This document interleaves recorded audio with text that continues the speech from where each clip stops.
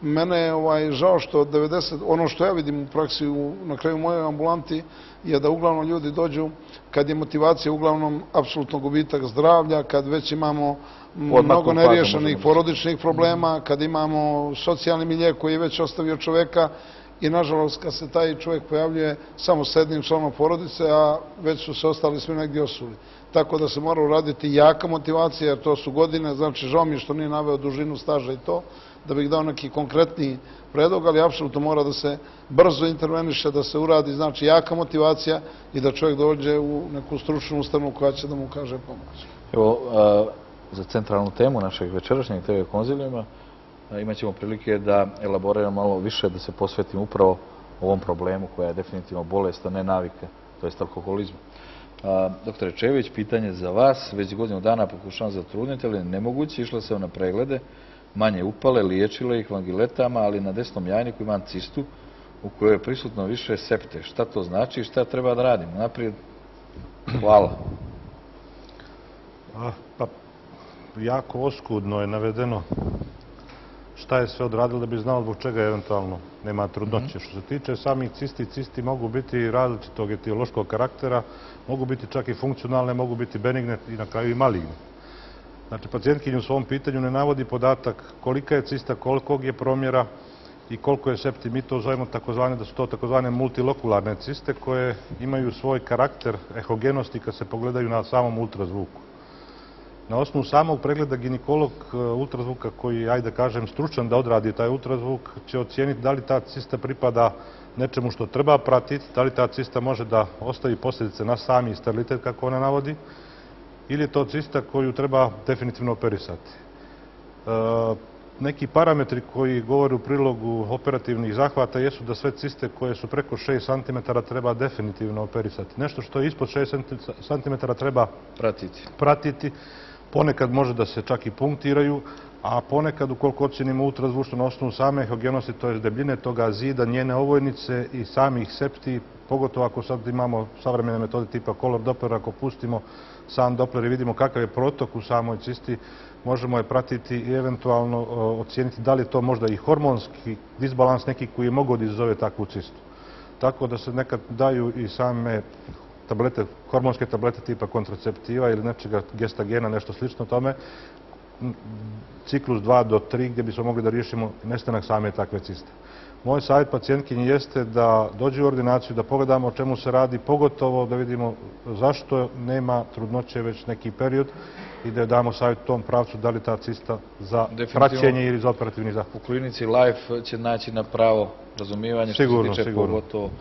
Doktor Ivčić ovdje bi iskoristio priliku i da nešto što nije pitanje, ali radi opšte populacije, radi informisanosti. Vi kao načelnik odeljenja orale u Institutu za bolesti djece, dosta čest slučaj, obstrukcija, djeca mala, gutanje različitih predmeta. Interesantno, radi naših gledalaca, roditelja, te mjere, da kažemo takve prve pomoći dok se ne zatraži, da tako kažemo, kvalitetna medicinska pomoć, koje bi bili i ovako iz vaše prakse i neke slučajeve ovaj, da nam slikovitije to malo prikažete. Što se tiče stranih tijela, da kažemo, jedno od ovako urgentnijih stanja u pedijatrijskoj, da kažemo, populaciji, e, mogu da budu pre svega sa stanovišta, da kažemo, roditelja i odnosa ovaj, prema djeci, jer znači, imamo akutne faze gušenja, povraćanja, otežanog disanja, što praktično cijelu familiju dovodi u bolnicu da se naravno spašava život djeteta. Nekada to bude s velikim razlogom, nekada bude, da kažemo, više neka lažna uzbuna. Uglavnom, u svakom trenutku reagujemo na pravi način. Uvijek smo spremni što se toga tiče da pomognemo ili je odjeljenje otvorene laringologije u okviru Instituta za bolesti djece jedini referentni centar u regionu, bukvalno. Znači, ne samo Crna Gora, nego i, da kažemo, Hercegovina, Kosovo i Albanija, gdje se radi ekstrakcije stranih tijela donjih disajnih puteva i stranih tijela, strana tijela jednjaka. Naravno, pored toga, strana tijela nosa, uva i e, grla, da kažemo, su isto zastupljena, ali to i u manjim centrima može da se rješava. Strana tijela donjih disanih puteva i jednjaka se rade uvijek u opštoj anesteziji. Mi smo jedina ustanova tog tipa u, ajde da kažemo, regionu koja to radi. Ono, imamo potpuno obučen kadar, potpuno kompletne instrumente i e, možemo potpuno to da zvrinjavamo, da se kaže, 100% praktično. Panika nikako ne dolazi Panika ne dolazi, panika je uvijek na neki način, kažemo, nekad odmaže, usmo rečeno nekad pomaže, ali roditelji, da kažemo, instinktivno krenu odmah ka institutu za bolesti djece. Naravno, dešava se da odu i lokalni centar gdje se radi neka diagnostika, u principu gubljenje vremena. Znači, bilo kakav problem vezano za aspiraciju stranog tijela, sumnju na aspiraciju stranog tijela, na gutanje, djecu treba dovesti u institut za bolesti djece, s najmanje na neki način gubi vrijeme koji su preventivne mjere. Mi sve kažemo ovako više, ni u šala, to je zbilja. Sve što je manje od 10 cm neto dao djece da se igraju s tim, jer mogu da to progutaju, stave usta, uguraju negdje. Mi akcidentalno ne ilazimo na strana tijela u ambulanti pri pregledu nosa i uvadi. Roditelji nemaju, ajde da kažemo, uopšte ideju da su došli zbog stranog tijela, nego djetetu curi nos, u nosu budu razno razne kuglice, lego kockice, dijelovi igračaka nakita, dijelovi od kinder jaja, plastični dijelovi igračaka, e, razno razni štapići, gumice, čepove, flomastera. Ma mislim, to je dijapazon je, e, ovaj, što se kaže, sve što može pas napomni, što je sitno, djeca, mogu, djeca bukvalno stavljaju i nos i u grlo. Što se tiče stavnih tijela, opet da se vratim na donje disajne puteve, tu nam je veliki, da kažemo, neprijatelj Kikiriki, Oras i Lješnici. Sad ide period kad se prave ovaj kolači, Slava, Nova godina, Božić. U ovom periodu je na neki način neki mali pik što se toga tiče. Jesu djeci ti, e, odnosno taj tip hrane, čvrst, zrnast, eh, na dohvat ruke. Djeca to stavaju, roditelji mi nekad daju, eto kažu, daju kao da se vježbaju zubi, da budu zdravi. Djeca zbog položaja laringsa koji je više podignut nego kod odraslih, djeca e, imaju veću predispoziciju za aspiraciju. Ona su nemirna, ona trče, hodaju. Uglavnom, pažnja možemo uglavnom, formulisati dobro da ne se davati, pazi, ne davati. Ne davati. Mi to uvijek nekako kažemo, dok ne krene u školu, ne davati kikiriki, lješnjake, orah i tako dalje, jer je manje mnogo šansa da se djeca, da djeca to aspiriraju. Ista je stvar za stavljanje tijelima jednjak. Najčešće vadimo pare. Znači sve moguće apoinske vrijednosti eura koje postoje, vadili smo ih više navjeta. E, sve što može, ali bukvalno, bukvalno što djeca stavljaju usta mogu i da progutaju. To su nekada stanja koja su, kažemo, gdje su minuti bitni da se djete spasi. Nekad nije to toliko hitno da se mora raditi odmah. Postoje tu različiti protokol ili indikovan da se radi odmah u prvih sat, dva, tri ili možda da se sačeka jutro, da se malo stabilizuje stanje, jer najčešće imamo i miješanu patologiju pa moramo da budemo, ovaj, kažemo, dosta obrazili, ili nisu intervencije banalne što se toga tiče. Evo, i naš apel da roditelji stvarno povedu računa o tom. Evo, uz molbu uh, gledalcima da i dalje mogu postavljati pitanja putem SMS-a na 14999. Pogledat ćemo jedan kratak blok reklama pa nastavljamo sa razgovorom u studiju. Poštovani gledalci, uživo ste na program Atlas televizije, TV konzilijum, ljekari, specijalisti, savjetuju, informišu, definitivno u cilju unapređenja vašeg zdravlja. Vrijeme je za našu centralnu temu.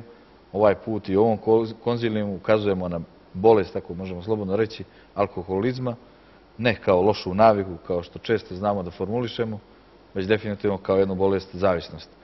Pa prije nego što budemo razgovarali na ovu temu i o ovoj bolesti, pogledat ćemo prilog, potom nastavljamo s razgovorom.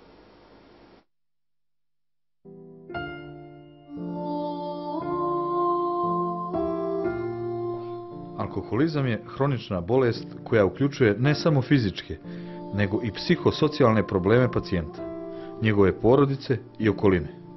Alkoholizam spada u grupu bolesti zavisnosti.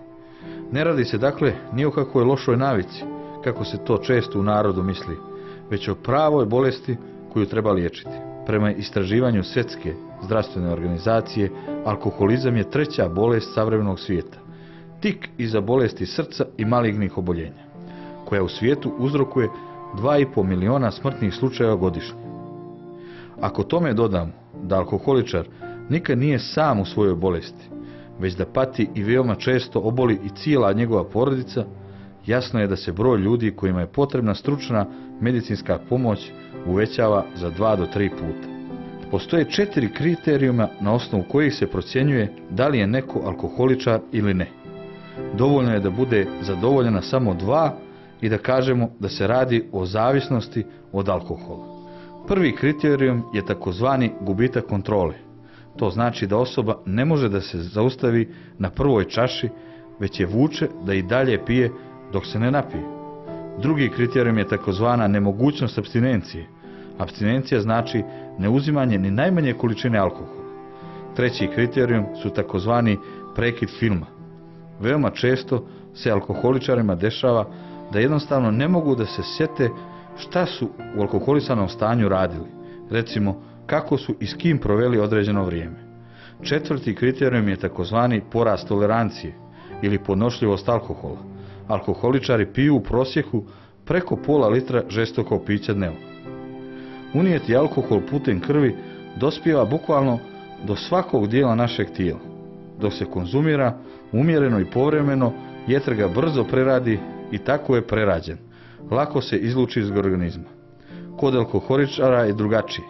Kod njih usled u velike učestalosti i velikih količina alkohola jetra nije u stanju da ga u cijelini preradi. Te se zaostali alkohol i njegovi produkti u organizmu ponašaju kao otrov. Posljedice njihovog dejstva su oštećenja skoro svih organa u tijelu. Među prvim organima koji stradaju je jetra. Oštećenje jetre može biti od blagog, preko uvećane i masne jetre, pa sve do ciroze, neizlečive i smrtonosne bolesti. Zbog oštećenja mozga nastaju brojne psihičke promjene, od kojih su najčešće alkoholna izlapilost, alkoholna epilepsija, alkoholno ludilo, alkoholna bolesna ljubomora. Pod dejstvom alkohola izumiru moždane ćelije znatno brže nego što je to normalno. Alkoholizam je bolest koja se liječi. To znači da je moguće pomoći alkoholičaru i njegovoj porodici da izađu iz ovog začaranog kruga. Liječenje uvijek uključuje učešće porodice i naglasak je na uspostavljanju abstinencije i izmene ponašanja i alkoholičara i porodice. Najvažnija tačka liječenja je abstinencija, ustezanje od konzumiranja alkohola, ali prethodno je potrebno napraviti potpuni pregled i obradu pacijenta kako bi se ustanovile postojeće bolesti i poremećaj koji bi mogli zakomplikovati ustezanje. Važno je pri tome i razlikovati delirium tremens od duševnih promjena koje nastupaju u akutnoj insuficijenciji jetre. Prilikom terapije potrebno je održavati ravnotežu tečnosti, davati visoke doze vitamina C i B kompleksa, benzodizijepani su glavni lijekovi koji se pružaju uporište u cjelokupnoj terapiji, a doziranje zavisi od statusa bolesnika. Situacija u Crnoj Gori kada je zloupotreba alkohola u pitanju nije sjajna. Evropski prosjek je oko 25 litara žestokog pića godišnje po glavi stanovnika, dok je u Crnoj Gori taj broj nešto veći. U Crnoj Gori ima između 12 i 13 hiljada alkoholičara. Ako prepostavimo da svaki od zavisnika živi u prosječno četvoročlanoj porodici, značilo bi da ovim problemom je pogođeno oko 50.000 ljudi u našoj zemlji. Nasuprot tome, u Crnoj Gori imamo svega 25 kreveta namijenjenih liječenju alkoholizmu, što znači da je stanje po ovom pitanju alarmantno prema procjeni Svjetske zdravstvene organizacije konzumiranje alkohola u Crnoj Gori premašuje evropski prosjek koji pokazuje da pojedinci stariji od 15 godina godišnje potroše između 12 i 13 litara čistog alkohola. Idemo odmah Evo, doktor Jokić, e, posle ovoga priloga, rekli smo alkoholizam, ja, meni se čini potenciram to ne navika, već stvarno bolest. Pa da počnemo od toga i onoga što ste u odgovoru na prethodno pitanje koje je bilo upućeno vama, kada nekoga možemo uopšte i proglasiti po protokolu i medicinskim standardima, pored ovih kriterijima, da ima oboljenje ili da je bolestan od alkoholizma? Pa alkoholizam svakako da spada u kategoriju bolesti već dugo i zavedenu međunarodnu klasifikaciju kao bolest. Moram da kažem da postoji više nekih definicija alkoholizma, ne bih se zadržavao i gubio vrijeme, recimo od nekih fizioloških definicija koje su recimo meni kao ljekaru najpribližnije, koje se baziraju na toleranciju i na psihičku zavisnost do behavioralnih od uzusnog sijusa, štetne upotrebe, zloupotrebe, pa sve tamo do nekih, recimo, kulturoloških koje su možda za Crnu Goru i najpribližnije nekoj definiciji alkoholizma. Ali svaka, danas u svijetu izraz alkoholizam je, moram da kažem, prevaziđen. Više se vodi zavisnost alkoholnog tipa. Iz više nekih razloga, ali